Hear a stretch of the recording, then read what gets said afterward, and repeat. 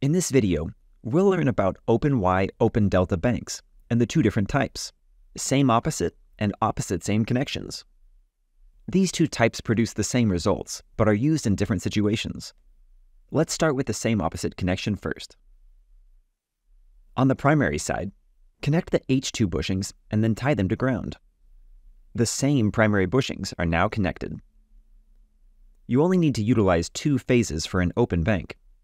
For this example, we'll connect the H1 bushing of the first transformer, which is the power transformer, to the A phase, and the H1 bushing of the second transformer, which is our lighter transformer, to the C phase.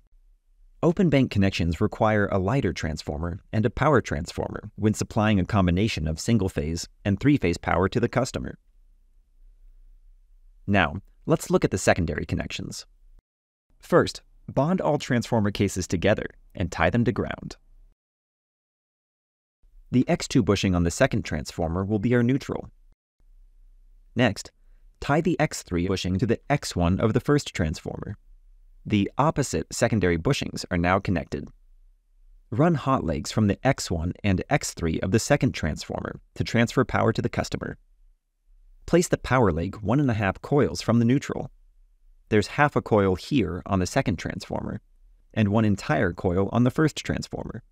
So the power leg is the X3 bushing on the first transformer. Now, let's move on to the opposite same connection. Starting on the primary side, connect the H2 of the first transformer to the H1 of the second transformer and connect it to ground. The opposite primary bushings are now connected. Connect the H1 of the first transformer to the A phase.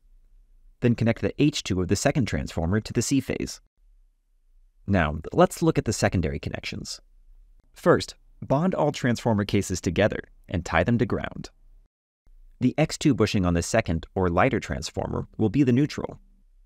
Connect the X1 bushing of the second transformer to the X1 of the first transformer.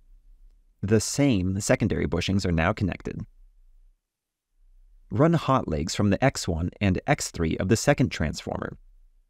Place the power leg one and a half coils from the neutral so the power leg is the X3 bushing on the first or power transformer.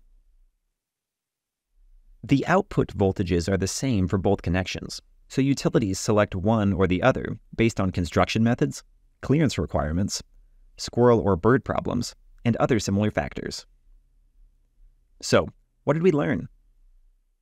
The same opposite connection has the same H2 primary bushings connected and grounded while the opposite secondary bushings are connected from the X1 to the X3.